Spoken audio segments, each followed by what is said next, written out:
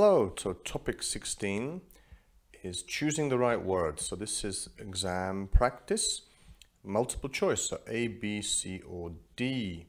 So you have to choose the right one. So when you do these type of exams, always write uh, one answer.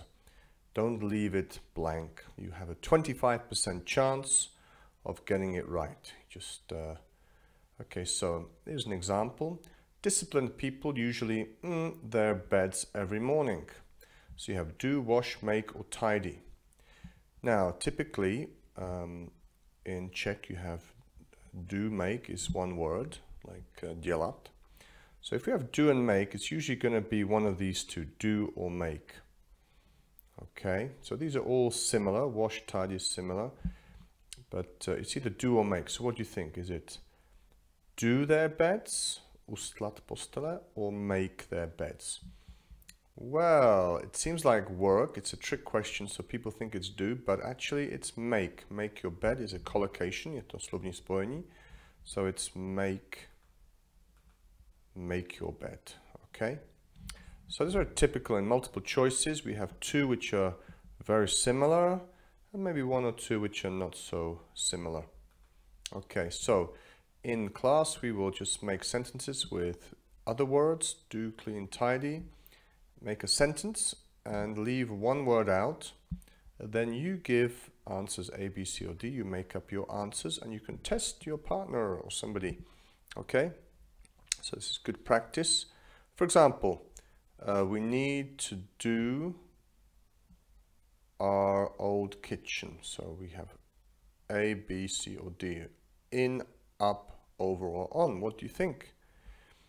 Uh, you mm, wash your hair. Need, should, had, better. You could use a question. Could you me tidy the garage? Make, show, support, or help. What do you think is in there? Okay, I don't think I have the answers here. No.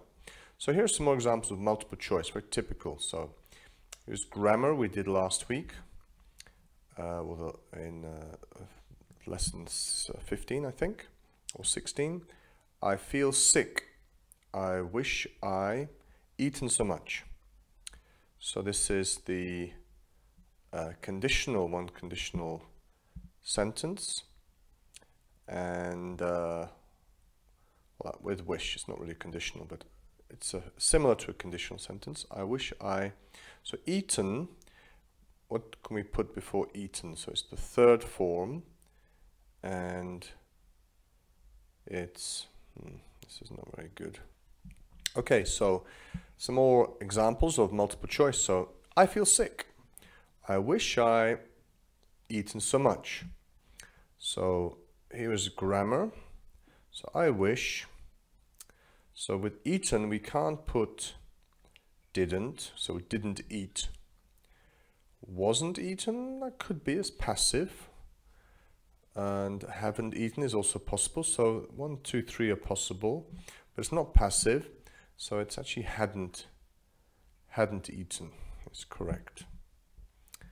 And it's a bit like the conditionals, the third conditional, a little bit like that.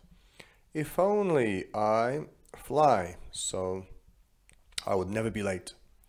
Okay, if only is like I wish. If only I now, can you fly? No. So it's it's uh, hypothetical, so we want to put it in the past. So if only I could. So if it's hypothetical, not real, then it's in the past. I would never be late. A little bit like the second conditional. And if I, two brains, I would never forget things. So do you have two brains? No, I don't. So but if I so we want the past, it's like number two. So if I had, gdyby miał, I would never forget things. And number four, I take a photo if I saw a ghost. So this is the second conditional. If I saw a ghost, I mm, take. So is it will, would, can, have to? Okay, remember there's the past here and then the this part I would. Okay, so that's just testing your grammar. Okay, we will do more multiple choice and uh, in the lesson Okay, so goodbye for now.